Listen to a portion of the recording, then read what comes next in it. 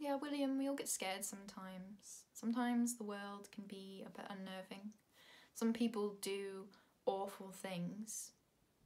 But and you need to listen to this, William, seriously.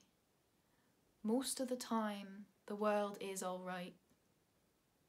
You need to get that into your head and stop moping about. Most people are alright. 99% of the people in this school, William, are perfectly good people.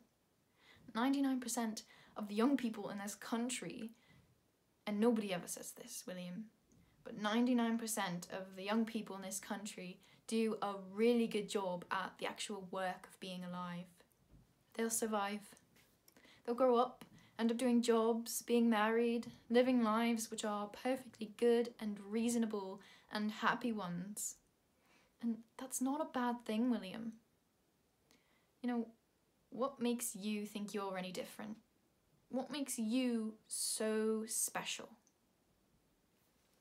When I was 10, William, listen to me, for God's sakes. When I was 10, I used to get these headaches. They were properly fierce. It used to feel as if the front of my head was being carved in two. They could really bring tears to my eyes. I didn't tell my mum about them for weeks, but then after about two weeks I did. I told her and she took me to the doctor and the doctor gave me some aspirin and told me to drink some more water and get some more fresh air and eat less sweets and I did and the headaches they went away. What I'm what I'm trying to tell you William is that maybe you should uh, tell somebody how you're feeling.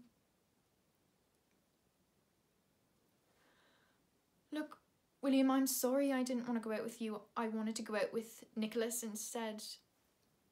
I, re I really love him and, you know, I, I always thought you'd be my mate and I would still really like to be in spite of everything. But, William, I actually don't think you're that well and I'm worried about you and I, I want to get you some help.